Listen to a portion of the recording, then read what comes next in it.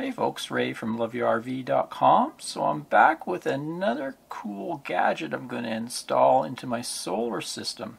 So if you followed me for any length of time, you know I use the Bogart Engineering Trimetric TM2030-RV battery monitor system.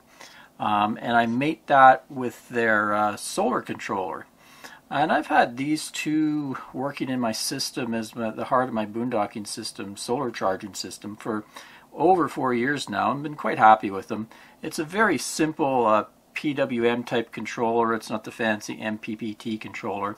But at the time that I bought it, um, you could get this much cheaper. Um, and it does pretty good job. I was able to, to invest my money elsewhere in my system in, in extra panels and batteries with the savings. Um, nowadays, the MPPT controllers have dropped a lot in price, but uh, um, this is still a good, solid little controller for a small system. So I'm happy with mine, and I've been I've been using it, and, and I still plan to keep it. And I've been really happy with the Trimetric monitor. Um, the only thing is, a lot of the new monitors are coming with a uh, Bluetooth connection, so you can monitor your uh, your charging parameters and uh, you know your amp hours in and out through your through your smartphone. So the folks at Bogart recently have come out with a new product. It's a Wi-Fi module that plugs in to any any of their trimetric monitors as long as the firmware is is over. Um, the trimetric has to have a firmware newer than 2.5 and to work with the if you have one of the controllers that's the firmware higher than 9 or higher. So what happened is, uh, I guess a Bogart guy saw a recent video I did, so he emailed me and offered to send me out one of these for free for review. Um, I didn't solicit any of this from him. He just emailed and asked if I would review his new gadget here, the wireless monitor. And uh, he asked uh, about my uh, firmware um, situation. And being it was four years old, I had quite old firmware. So he was actually kind enough to send out two new units rather than the pain of me taking everything apart and sending it back to them to get the firmware flashed. Uh, you can do that if you have either one of these. You can send send them the both back, or just if you just have the one. And uh, I think he does it for $35, and then he, he ships it back for free. So anyway, I am going to install these and take out my old ones and then I'm going to install this new Wi-Fi module. So let's get a closer look at that. If you want any information about these, I'll link to my my original install video and you can see how these made it together and were installed. So this is WF2030 wireless module for Trimetric TM2030 and allows remote access to the battery monitor and also the charge controller if you have it from any Wi-Fi equipped device.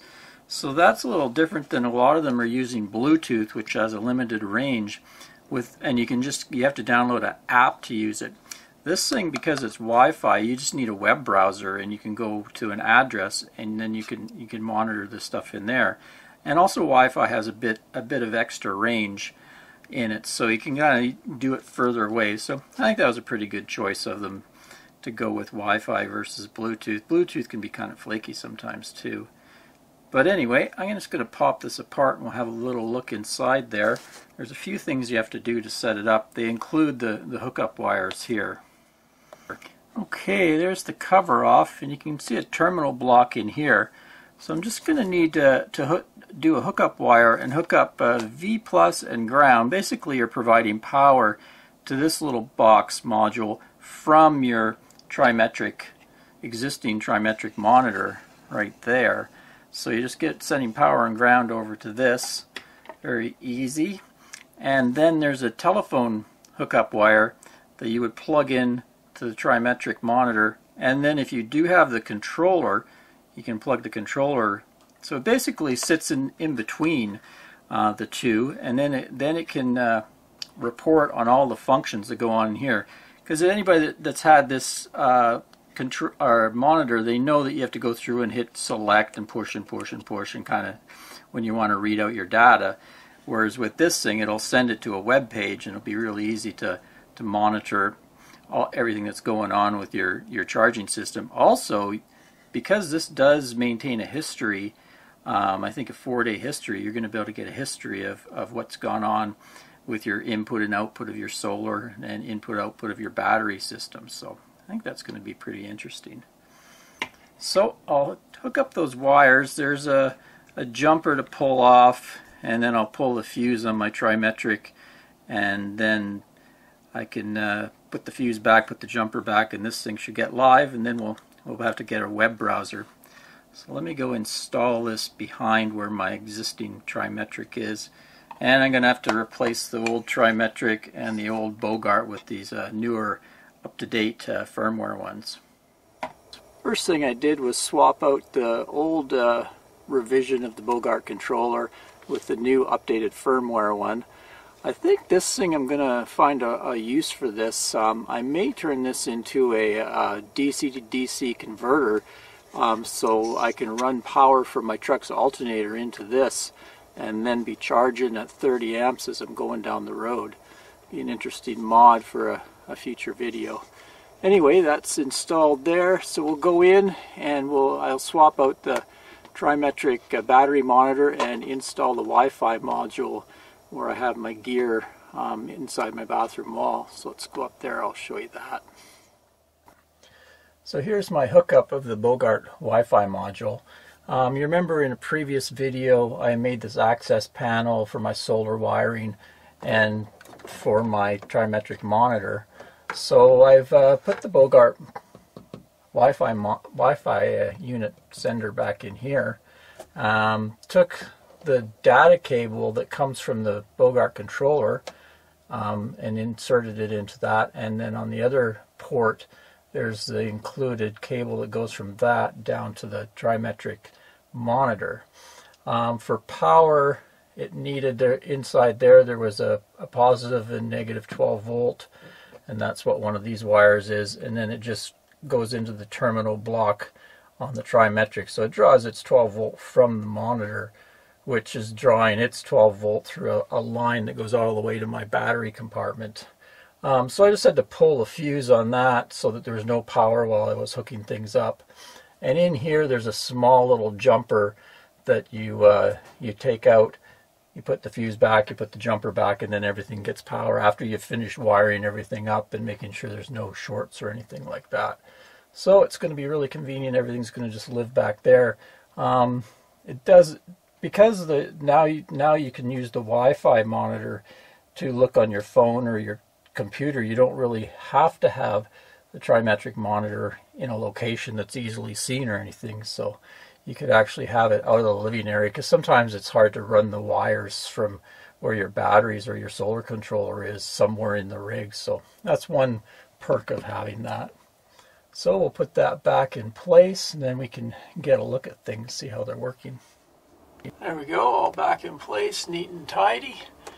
So yeah, the advantage of this Wi-Fi module now is I'm not going to have to sit here and push all these buttons to go and look at everything. Like I'd have to hold that and look at my amp hours, you know, and go through all the data that it's putting out. Like for instance, right now we're getting 9.7 amps of solar. And also, I will to set this up, you to have to go through these buttons and hold the two and adjust it. Now I'm going to be able to go through a web browser and set up this monitor so everything works properly and I can read the data. So that's going to be really neat. So let's go on to a screenshot of the web browser and I'll, let, I'll show you the interface that they use. Here we go. So I've pulled up the page on my laptop web browser here. Like I say, you can use a phone's web browser as well. And I went to this address, http colon slash slash WF 2030. And that's because I put it through my, my router called that the SSID is named Raven. Um, if you don't do that, you can go straight to the the Wi-Fi module by using a, a IP address number. So I'll just go through and show you what's involved in here. There's a setup. You can change this from light mode to dark mode. You can put in your number of uh, controllers. I just have one, but you have the option of using two with this system. So you could have go from 31 amps to 62 total amps. um, update rate for the data pages here. And then down here, here's the Wi-Fi setup. So um, you can set it up in station mode or AP mode.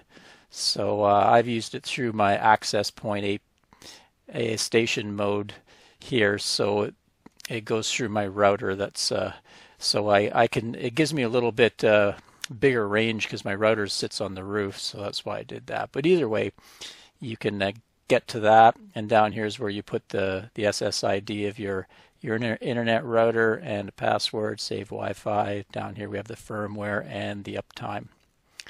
Just go back to the main menu here. And so one cool thing I like I say is you don't have to go through and push buttons on your on your trimetric battery monitor. You can set all the parameters right here. You can see I've I've set mine.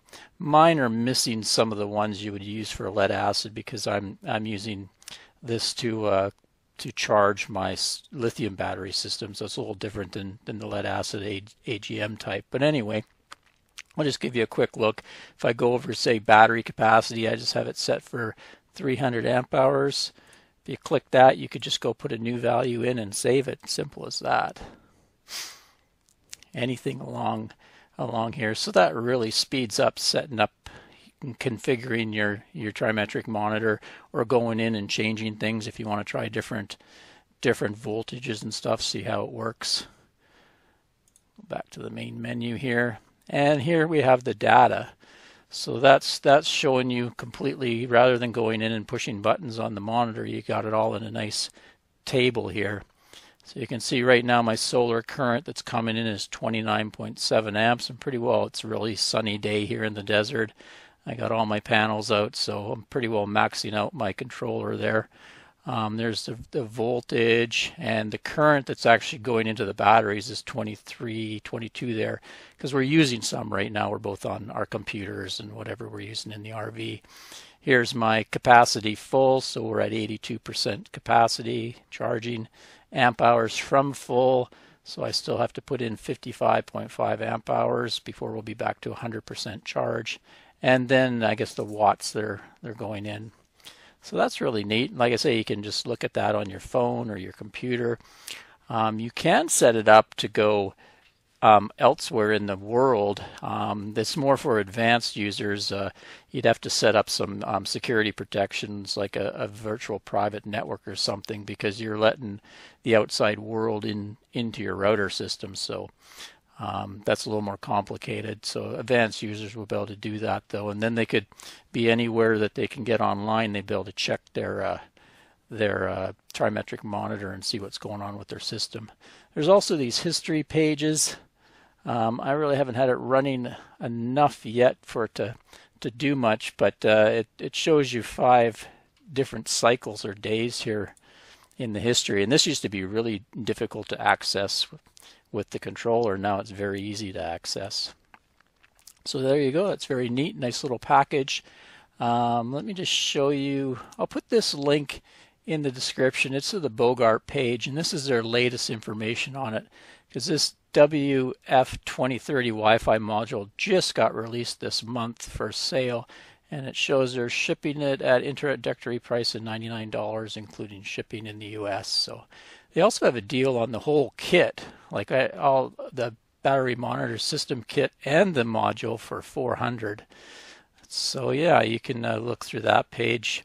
Also um, people that have owned the Trimetric you might be interested in the firmware updates down here. They have most recent is January 2020 they've they've got some new firmware updates for the the monitors and the controllers and stuff like that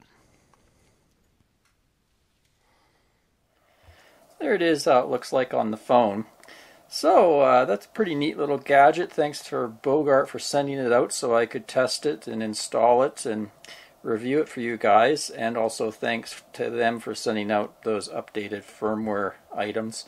Um, I'll use it for the rest of my boondocking season here. We've still got a couple more months in the southwest and I'll come back um, let you know how it performed. Till next time, Ray from loveyourrv.com. Thanks for watching everyone. Cheers.